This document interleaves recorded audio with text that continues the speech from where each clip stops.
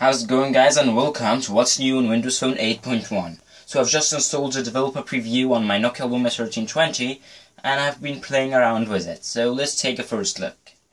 The first look, or the first thing I want to point out is the new Action Center, which is like notification centers that like on Android and iOS. Here and you can see notifications if you get a message or get anything the automatic app updates will also pop up here. And then you can control Wi-Fi, Bluetooth, airplane mode, rotation lock, and several other things. So, you know, this bar up here is customizable.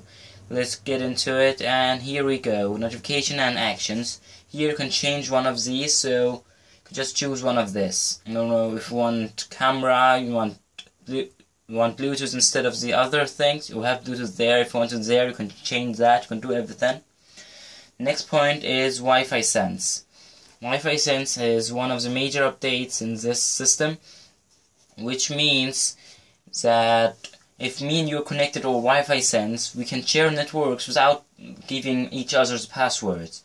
So for example, if I share my home network with you, you when you are near my home, you'll be automatically connected to that network without being asked for a password. That's pretty awesome if friends are going home to each other and let's go on and to app and game data. App and game data are now being backed up as the system in this new OneDrive thing. Where is oh? Where is it? Oh, OneDrive is which is the new replacement for SkyDrive, and now your app data will be backed up right there. Another new app is Facebook. Facebook is now pre-installed on Windows 8.1 and there is not much to talk about. It's the same app just with an you know pre-installed. Well, let's go on to the store. The store has got a new interface and a new feature. You know, now it recommends apps for you based on your location, which is you know, it tells you what apps are popular in your surroundings, like iOS do. Another thing in the store is the new app updates. Let's go to the settings of it. App updates are now automatic. Where is store store? Oops. App updates are now automatic and you can do it over Wi-Fi only or data connection. You decide. And let's go further on to camera. The camera has got a new layout and you can see it here. Let's go to it. It's more simple in the design of it. I basically like this new a little better than the one before, but the camera on this guy still kinda sucks, so you know it's only 5 megapixels, so I can't really get used to it. But it's the new layout is better than before in my opinion. You also got this burst mode which makes you take like unlimited account of photos. Now I've taken like 35 photos and it's pretty fast and nice. So that's new camera app, and let's go on to Bing. You know, Bing has been replaced with this new thing called Cortana. Cortana. It's like Siri and Google now. I've made a separate video about it. And we have got a new app called Podca Podcasts. Where is it? We have to go to P. P. Podcasts. In this app you can save podcasts like the app on iOS. And let's go further on to the new browser. We have got Internet Explorer 11. Let's go to it again. Internet Explorer again. And here we see we have got this new redefined button right there, which is refresh and stop.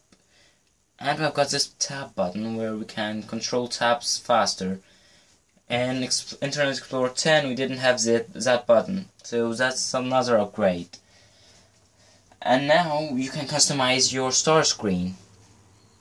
If you go to settings settings settings settings herein you can put in a background on behind your tiles like this. Let's choose a background. Let's take that guy here. You'll see when I swipe over it's like the photo is hidden behind those tiles and the tiles are like windows showing you the background. It's kinda awesome, it looks pretty similar to iOS, but it's pretty unique with these tiles and the background, so I like this feature. Now let's go on to the back button. The back button has changed its purpose and let's go to phone for example. I'll press the back button. In the past it used to close down the app but now it only go back. You know it suspends the app so if you hold the back button you will see it it isn't here anymore. Like deletes it. Or not delete it shuts down completely. So let's go to phone and press the Microsoft button like this. And now if you press the back button you will see you have phone there. But when you do the back button it won't be in your multitasking bar. It's like completely closed. Next thing is the favorite photos. If you go to photos and let's look at my photos we'll have this heart icon. We can favorite the photo and then go back to our album called favorites and you'll find your favorite photos. One it's like a copy from iOS is the quiet hours feature. Quiet hours is basically giving you hours of quiet notifications which means let's find it quiet hours. If it turns out on, notifications will be handled by Cortana and you know it's like rejected or continue to another phone.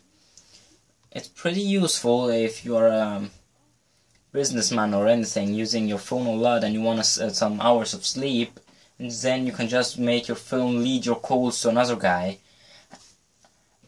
And let's go on the new screenshot feature. Before in, the past, we were used to press the Microsoft button and the power button at the same time, like this.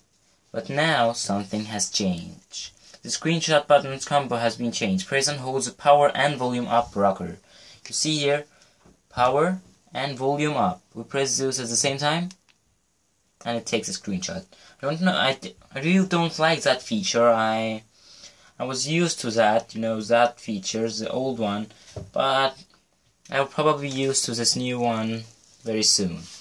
And let's go on to the volume rockers. They've also changed their purpose, and we can see here, when I press this, you can go to this. And here we have ringer notification, which is when people call you or message you, and Midjan apps, uh, which is when you're watching a movie or hearing music. So now you have two separate volume rockers and that's a very good combi. And of course I forgot to tell you about this. You know, the multitasking bar, when you want to swipe off an app, you have to do this. You can just swipe it down. On iOS, you have to swipe it up. In the past, on my Windows phone, you were used to press this cross. But now you can press the cross or swipe them down. And a very major update that I very, very uh, like very, very much is the new swipe keyboard. So let's go to internet and write anything you can see here.